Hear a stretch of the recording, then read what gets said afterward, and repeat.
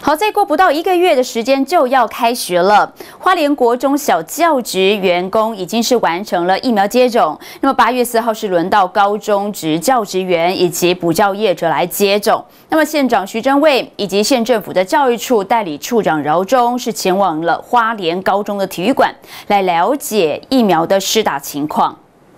考量新学期开学不到一个月。花莲县政府十号分三区近千位高中职教师试打疫苗，同时因应疫情降级，全国补教业者有条件解封，上面多名已经造册补教业也在四号同步试打疫苗，希望提高补习班师生的保护力。现在学生会上午前往北区接种站花莲高中体育馆来关心试打状况，并感谢医院团队的辛劳。他表示，经各医疗院所的努力以及民众的配合，花莲县试打覆盖率已经达到百分之三十五，超过全国覆盖率百分之三十四。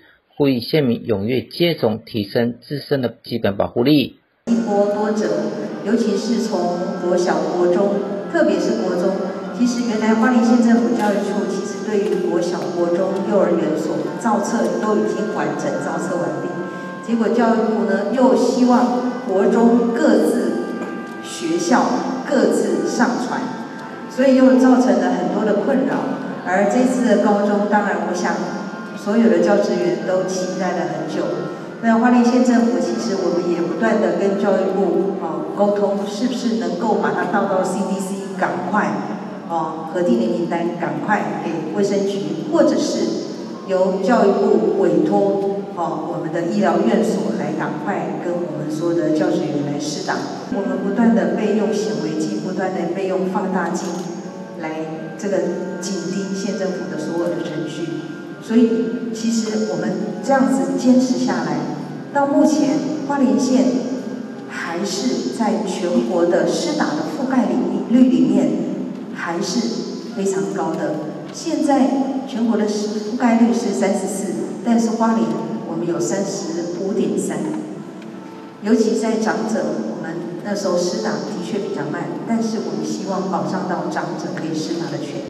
由于不少高中职教师已经透过一九二二系统预约，初步估计约有三成老师完成疫苗接种，还有九百多位教师未施打。花政府特别规划在北中南三区。让教师们可以接种疫苗。另外，因补习班陆续恢复实体授课，花莲县也安排补教业者在四号接种疫苗，并且加强补习班清消的稽查。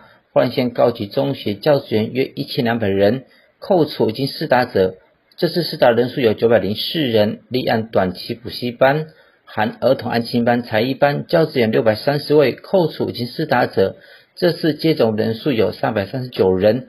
分别在北区花莲高中体育馆、中区北龙凤林分院、南区北龙玉里分院施打，但因故无法施打者，可以前往上网预约施打，不会影响权益。